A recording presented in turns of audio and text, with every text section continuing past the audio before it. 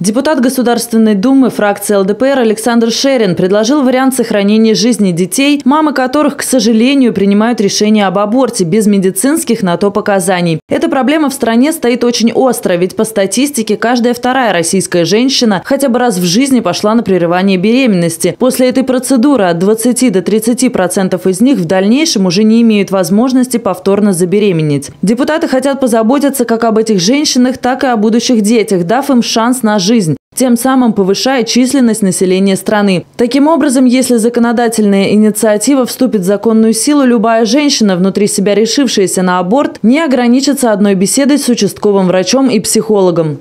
Мы предлагаем при проведении беседы психологу предложить этой женщине сохранить беременность. За это она получит материальную компенсацию в размере 250 тысяч рублей. Денежные средства выплачиваются только после того, когда человек принимает соответственно, решение этого ребенка сохранить и оставить на воспитание государства, если женщина принимает такое решение.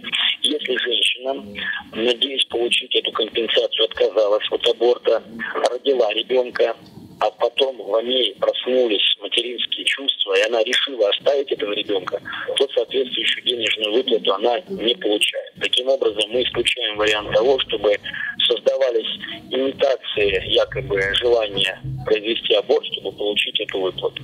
Пока статистика говорит о том, что сейчас немногие из тех женщин, которые колеблются между абортом и рождением ребенка, выбирают второе. По мнению депутатов, работа ведется недостаточно хорошо. Беседуем в плане вы подумайте, пожалуйста, нужно ли эту беременность прерывать. Беременность хорошая, хорошо развивается. Мы сейчас не касаемся медицинских показаний к прерыванию беременности или э, других каких-то тем. Ну и, в общем-то, если э, девушка колеблется, очень часто они оставляют беременность. То есть... Бывает ли да, такое? Бывает, и насколько конечно. часто? Вот? Ну, насколько часто, я, конечно, так уж прям не могу сказать. Ну, скажем, но на 10, э, там всего одна оставляет беременность. Депутаты считают, что выплата в 250 тысяч рублей все же поможет склонить большую часть женщин к рождению ребенка. Варианта. Еще раз обращаю внимание. Ненормальная ситуация, когда ребенок попадает в детский дом. Ненормальная ситуация. Еще более плохая ситуация, когда ребенок даже не родился.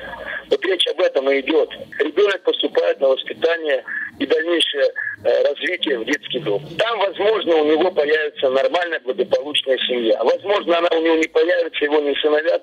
Он вырастет, будет достойным гражданином Российской Федерации.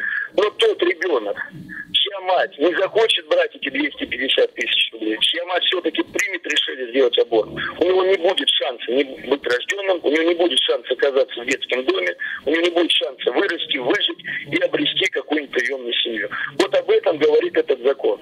Если закон вступит в силу, депутаты надеются, что благодаря нему многие из беременных женщин после рождения ребенка все же оставят его в семье, потому что многие из тех, кто ранее решился на аборт, через несколько месяцев начинают жалеть о содеянном. А в этом случае, так или иначе, у женщин остается шанс подумать и принять правильное решение.